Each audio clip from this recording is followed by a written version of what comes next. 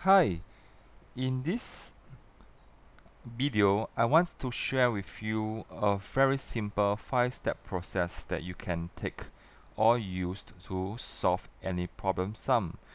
Isn't that great? Yes, as you can see, you can see K, C, N, S, U. Would you want to try to pronounce it? Some children told me Kensu. It sounds weird. So let me first share with you what does K means. As you can see in this slide, K stands for keyword. C stands for concept.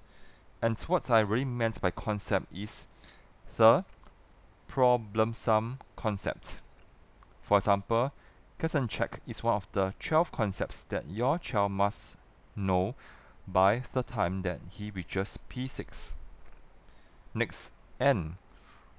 Would you want to guess?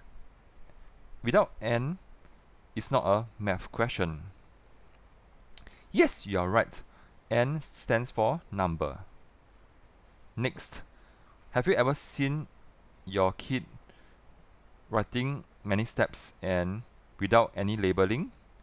And sometimes when you ask him what does this specific step mean, he looks confused so in order to avoid future confusion like this, you would want to write statements beside every single step.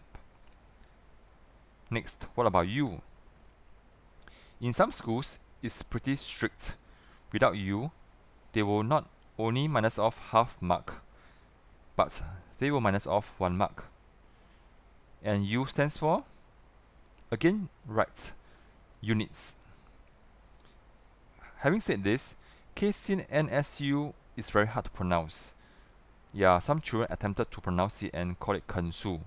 But in times of anxiety during the examination, it's very hard to remember what does KCNSU mean.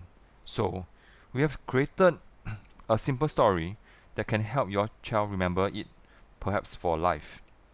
Can you see? Kittens can never swim underwater. A lot of times when we say this, this put a smile on the child's face and thus reducing the level of anxiety. So next time instead of trying very hard to remember keyword, concept, number, statement, units, get your child to remember it in a fun way. Kittens can never swim underwater.